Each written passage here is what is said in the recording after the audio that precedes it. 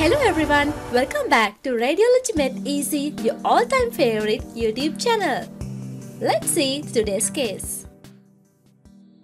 Hi everyone, welcome back. Today I am going to create a new video on pneumonia, which is a common topic in medicine. So day to day there are a number of cases in pneumonia, so I'm going to discuss some radiologically important points in pneumonia. So actually pneumonia is a lung infection and it causes inflammation of the lungs. Can be in the alveoli, in the bronchi or the interstitium. So there's a inflammation of the lung due to an infection. So there are three main types of pneumonias or common types. There are lobar pneumonia which is which is an infection or fluid accumulation in the alveoli Oh, or there's exudate formation in the alveoli in the lungs commonly caused by streptococcus pneumoniae. And other form is bronchopneumonia. There's inflammation in, in the peribronchial region and it is commonly caused by staph aureus. Another type is atypical or interstitial pneumonia kind of a severe disease. The, there's inflammation in the interlobular septae. So there's exudate formation in the interlobular septae it is commonly caused by mycoplasma chlamydia and legionella and also sometimes uh, pneumocystis cerevisiae in immunocompromised individuals. Uh, and uh, there are some other types like round pneumonia which occurs in children then cavitating pneumonia commonly caused by streptococcus pneumoniae there are lung cavity formation and hemorrhagic pneumonia uh, when the patient has coagulopathies coagulation disorders the infection causes hemorrhage and there's a bleeding tendency into the lungs. It is called hemorrhagic pneumonia. Another type is aspiration pneumonia. It is caused by the so individuals who have uh, swallowing problems. So there's aspiration into the lung bases. And also another type is lipoid pneumonia. There's lipid uh, lipid accumulation in the lung bases. So it is called uh, lipoid pneumonia another type is organizing pneumonia and also it's a chronic process organizing pneumonia. When the cause is not identified we call it uh, cryptogenic organizing pneumonia. There's associated interstitial fibrosis lung fibrosis occurs.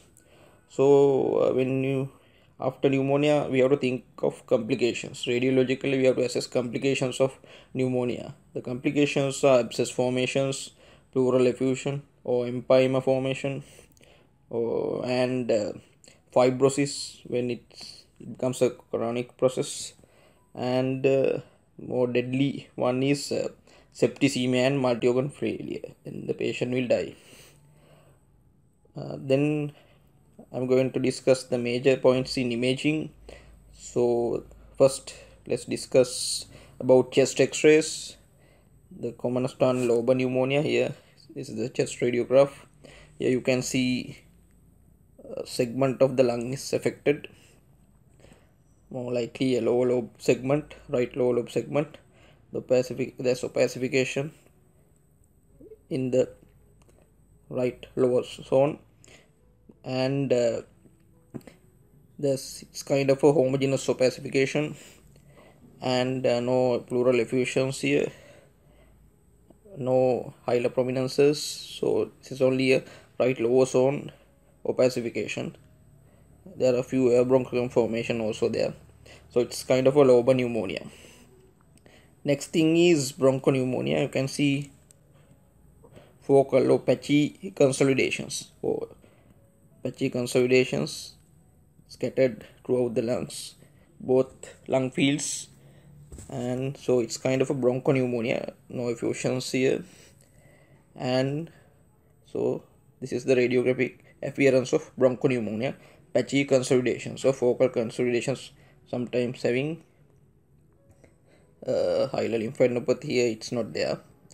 The next thing is atypical or interstitial pneumonia caused by mycoplasma legionella and chlamydia. You can see interlobular septal thickening or reticular opacifi- opacifications here. You can see reticular type opacifications. There are a few nodules also so reticular nodular type mainly the interstitial thickening is there you can see no obvious uh, lobar consolidations or bronchogenic or focal consolidations are not there. Then are mainly reticular nodule and you can see reticular type opacifications. Here no effusions, no hilar prominences or lymphadenopathy. Then the next one is uh, another atypical one, uh, so pneumocystis pneumonia. Uh, there's commonly uh, uh, it affects the immunocompromised people and there'll be batwing like appearance ground glass opacifications and interlobular septal thickening so reticular type of opacifications ground glass type focal consolidations and reticular opacifications can occur male in the perihilar region batwing type. Batwing type. So when sometimes there will be cavity formations when it progresses. Next one is organized pneumonia. In pneumonia mainly there are peripheral consolidations or pacifications mainly peripherally and also predominantly in the lung bases. You can see the retrocardial region also there are opacifications. So triangular shape peripheral opacifications will be there in organizing pneumonias. And there'll be associated fibrosis also. Then the next thing is uh, cavitating pneumonia. You can see there's a consolidated area or opacification with lucencies those are cavities. So it's a sinister kind of a disease pneumonia with cavity formation. No effusions here. There are lucencies so those are cavities. Next thing is round pneumonia. Here you can see consolidated area with the bronchial formation. It's a fairly well defined rounded opacity with the bronchial formation so after treatment it will disappear. So we call it vanishing tumor. Now the differential diagnosis for vanishing tumor is uh, encysted effusion. After treatment it will disappear. They commonly occur in children. So it's uh, another entity. Another one is aspiration pneumonia. You see it in icu patients. You can see the opacifications in the lung bases with the bronchial formation. It's due to aspiration of saliva and food so lung bases there will be opacifications. The next thing is we have to investigate further when there is pneumonia. So the next investigations will be uh, CT chest with lung windows and we have to give contrast and see whether there are enhancement to differentiate it from a SOL or a lung carcinoma. So we need to do a CT chest or HRCT and in the meantime you have to give contrast also to assess further.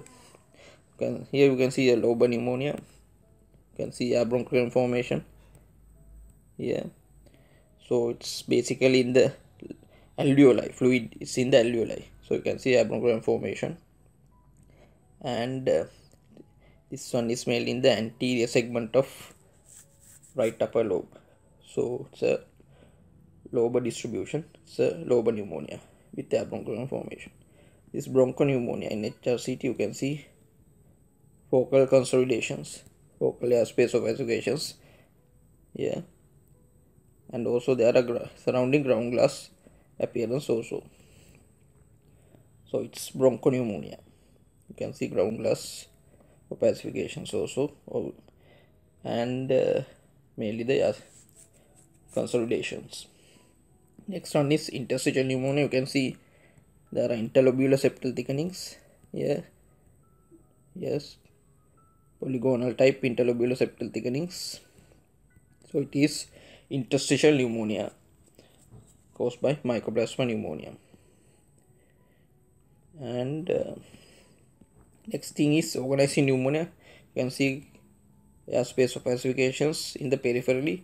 They are wedge shaped so apex is directed towards the hilum mainly peripherally and also in the lower lobes so it is organized pneumonia and also a bronchial formation also there a chronic process. the pneumocystis is you can see ground glass, perihilar, ground glass opacifications, and uh, you can see air bronchogram formations also. And this is mainly perihilar. You can see air bronchograms and ground glass opacifications in the alveoli. Other one is cavitatory pneumonia. You can see there's a cavity. So it's a consolidation with cavity formation. The cavitatory pneumonia. Then to differentiate pneumonia from uh, lung malignancy, you have to do a contrast CT chest. In pneumonia, there's no usually no enhancement because there's fluid in the alveoli, so you won't see enhancement. You can see non-enhancing areas. These are bronchograms, lucencies. These enhancing areas are collapsed lung, segmental, subsegmental collapse of lungs, and there's a parapneumonic pleural effusion also, kind of encysted effusion here. So basically this. So this is a consolidated area. These are subsegmental collapse. So so a consolidated area. And, uh, so it's a lobar pneumonia with parapneumonic effusion. This is a contrast CT chest in the mediastinal window.